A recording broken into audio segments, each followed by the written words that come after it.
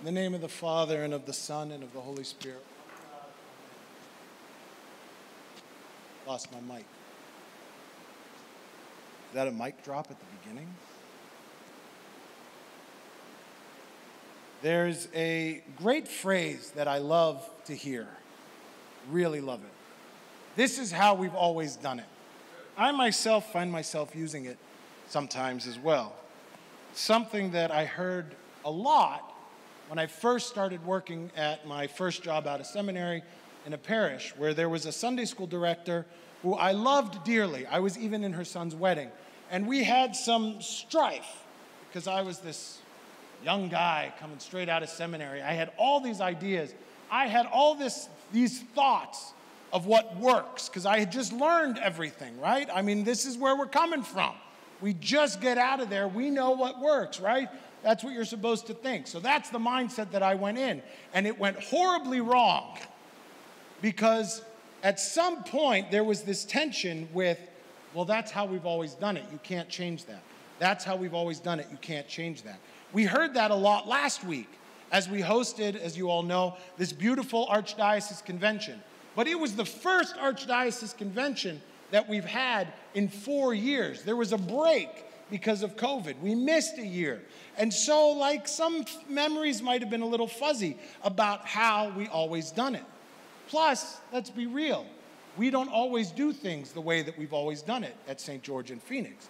We like to try to change some stuff up to see what will work, to maybe change how things can be better and how things can change. But yet we heard regularly, but this is how we've always done it. And there was strife that might have ensued a few times throughout the course of the week. As a result of that mentality, this is how we've always done it.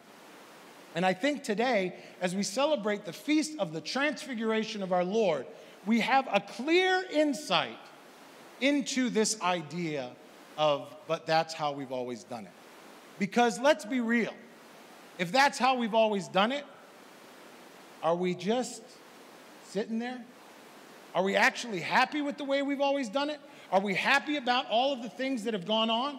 Or are we willing to start asking ourselves the question, how's that working? And if we're willing to say, how's that working, what are we willing to try? And in this story that we hear today about our Lord going up onto the mountain, we hear that change is not bad, right? Our Lord goes up onto the mountain, and the disciples, he takes three of his disciples with him. And while he's there, they see him, and he changes completely. It says, his face shone like the sun. And with him, they saw Moses and Elijah standing on either side. And so Peter with this mindset of that's how we've always done it, with this desire to memorialize everything, because that's ultimately what we're doing when we say this is how we've always done it, he says, Lord, it's good that we're here. Because it's so good that we're here, I am going to set up three booths one for you, one for Moses, and one for Elijah. That way, we have these things set up here where this great thing happened. And we can always come back on this same day and remember what had happened because it was so wonderful, because that's how we've always done it. But Christ doesn't really give them an opportunity. Really, God doesn't really give them an opportunity to go into other, any further. Because as Peter's talking, a bright cloud overshadowed them.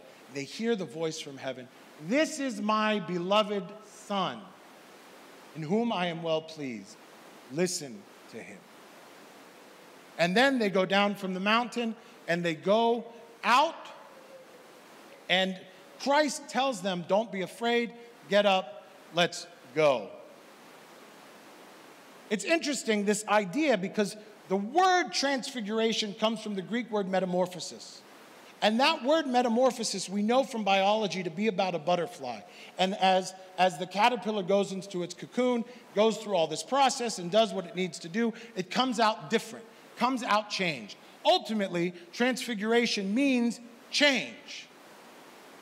It means to push beyond the way we've always done it. But we get stuck. And we have some things that block us from being willing to go to that change, from being willing to ask ourselves that question how is it working? From being willing to say, is there something different that we can do? We like to stick with what we know, and these things block us from everything. First and foremost, we are stuck in this mentality of how we've always done it. Second, we get dependent on our memory for how we've always done it.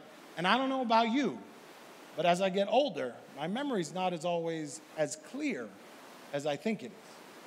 And finally, we're afraid of new, just like the disciples were afraid as they saw the Lord shining and hear this booming voice from heaven. They're afraid of what might come. So I've got three practical points for us today of how we might be able to enact something different, try something out. And the first is we have to get past it and recognize that there was a time that I was not there. Now, I know it's hard to believe. I have this struggle all the time when I talk to my parents. Because the fact that there was a time in their lives that was before February 12, 1982, which was the best day in their lives, when I came into their lives, the fact that they could have had anything else that went on up before that day is hard for me to believe. And in the same time, us thinking that this is how we've always done it falls into that same thing. There was a time when we were not there, but saying this is how we've always done it really means this is how it's always been as long as I've been involved. So we have to get through that. We have to break through that. We have to recognize that there was a time when I was not. The only one who there was not a time when there he was not is the Son of God. That's why we call him only begotten. If any of us are only begotten, then there's some other conversation that needs to be had. But the reality is there was a time when we were not. And getting past that helps us to start that process of getting through this is how we've always done it.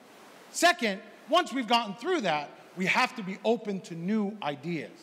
We can't just close our minds off to think that how that we are used to things is the only way that things can go. We have to be open to new things. That doesn't always mean that everything that we're doing is wrong, and it doesn't always mean that everything we're about to do is wrong.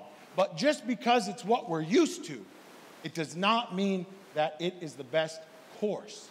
That just means that that's where we're comfortable. And finally, after we've done this, after we've gotten through these things and gotten past this idea of, okay, I'm comfortable and this is how we've always done it, so I'm just going to keep doing it that way because that's what makes me comfortable and happy, we need to make it happen, Captain. We have to get out there and we got to do it. We got to try new things. We've got to see different ways that we can do it and not be afraid of the new things. Ultimately, in our lives, we have to let God's word change us. And that is what is precisely happening in this story today, in this feast.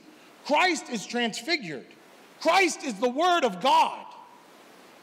He is showing us a new way in His Word. And in His Word, He's standing in the center, and He has Moses and Elijah, which represents the entirety of the Word of God, having with Him those two major figures of the Old Testament, the law and the prophets. How often do we hear Christ is the fulfillment of the law and the prophets? Now we have all three things there on a day that we are called to change. And we hear the voice from heaven This is my beloved Son in whom I am well pleased. Listen to him. May our great God, who is the effulgent splendor of his Father, give us the strength to be unafraid to enact that change in our lives and get beyond this is how we've always done. it. Amen.